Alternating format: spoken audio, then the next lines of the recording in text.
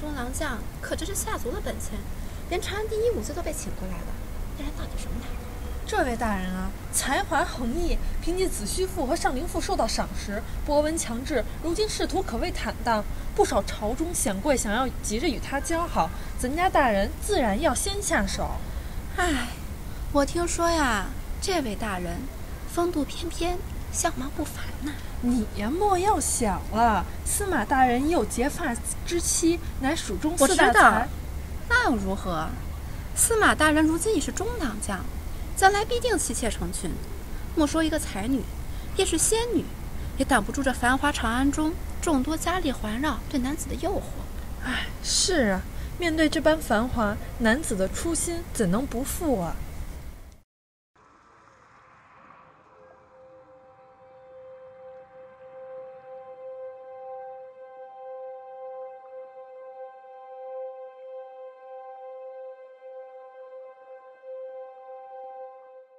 来，今日有诸位好友在座，我们不醉不归。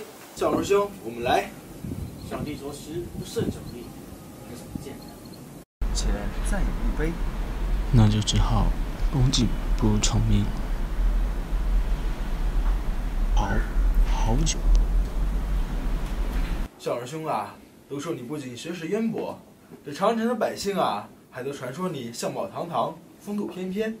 你可知道？听说你要来我这儿，谁慕名而来了？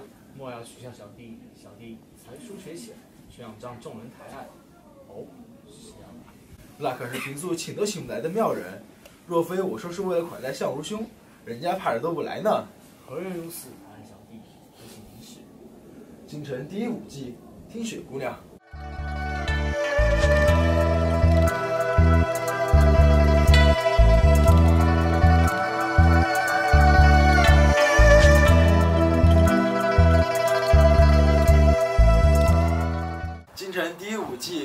果然名不虚传，让这位大人见笑。来来，积雪姑娘，我给您介绍一下，这位便是司马相如，司马大人。见过司马大人。姑娘可要情歌？略懂，愿为大人献舞。甚好，甚好。来人，将我绿旗取来，为姑娘伴奏一曲。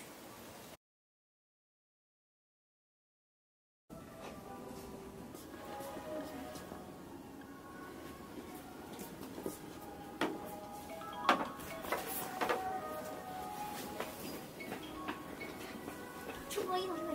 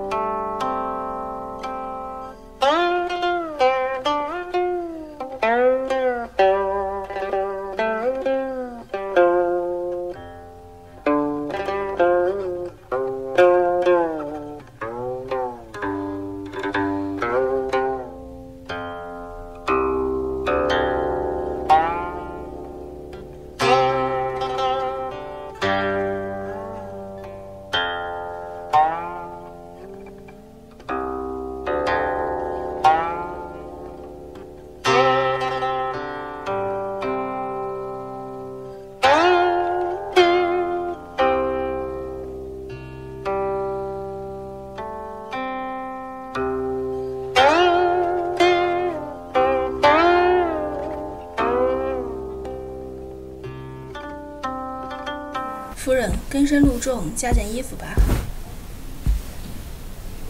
长庆出发时说，不过寥寥数日的分别，不想这一天天走过来，竟长思数年。夫人此刻思念大人，想必在长安；大人也在思念夫人吧？是吗？这时辰，长清应该还在伏案忙碌公务吧？不知他身边是何人是否，是否周到？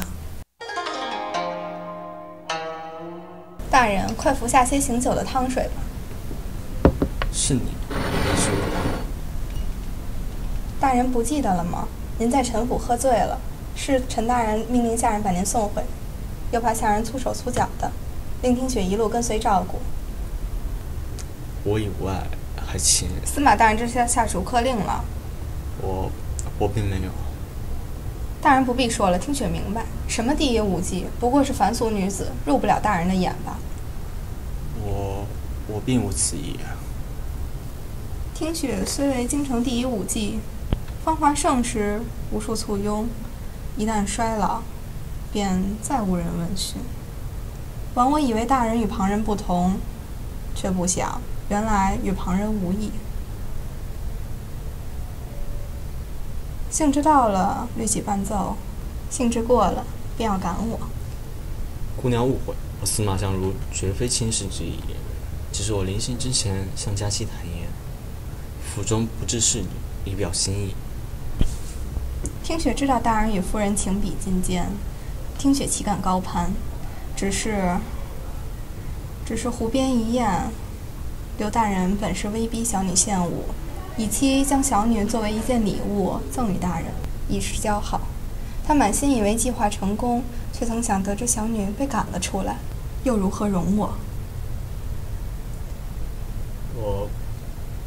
姑娘安心住下。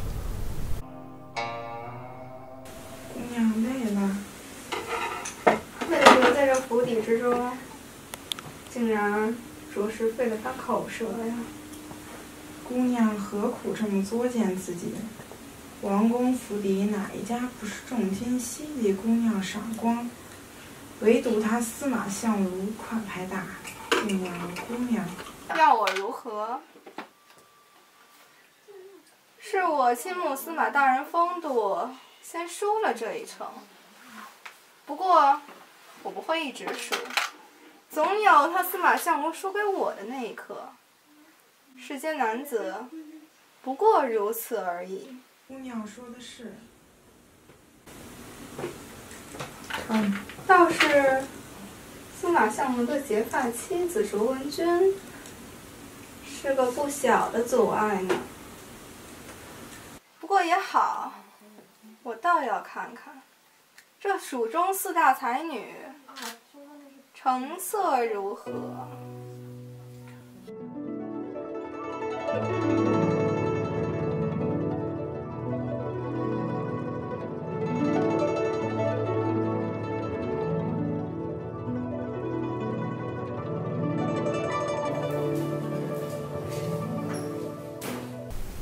我如今饮酒，一直相伴左右，悉心照料，不如我纳你为妾，你待如何？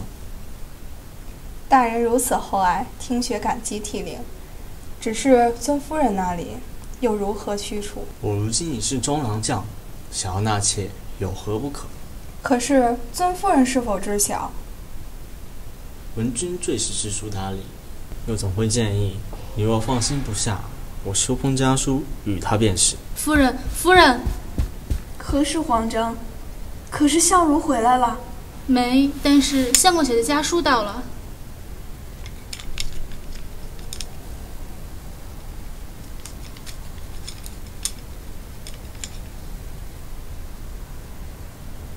我以为他公事缠身，日夜操劳，却不想竟是百花丛中风流快活。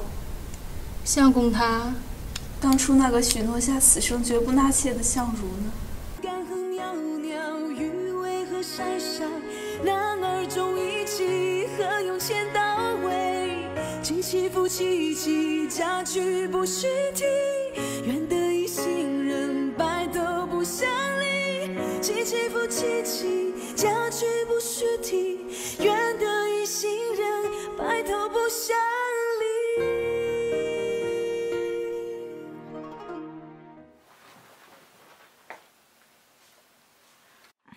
庄文君回信了。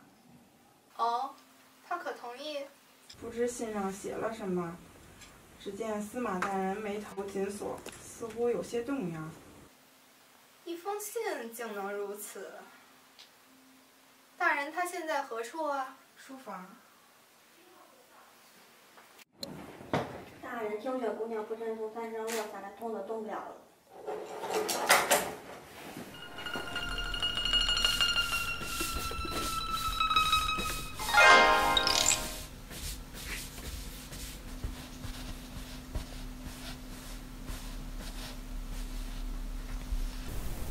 可有哪里伤到？小伤，小伤，不碍事的，竟然惊动了大人。你一贯灵巧，怎能在这里摔倒？听雪与大人宴会初见，您心念那一曲情歌，我并未熟练，便在此偷偷练习，盼着若有一日能再为大人起舞。你乃长安城第一舞姬，谁人能与你争论？大人厚爱，听雪无以为报，唯有将所知的、您的所喜所好牢记，日夜练习，做到最好，才能略有坦然。听雪真心如此，得之甚幸。接下来两天，你就好好休养，莫要劳累了。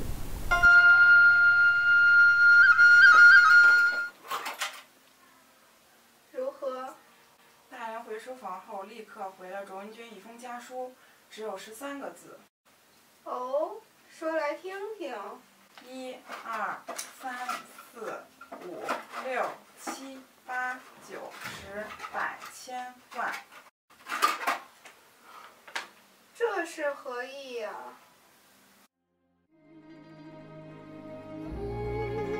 无意，无意呀！切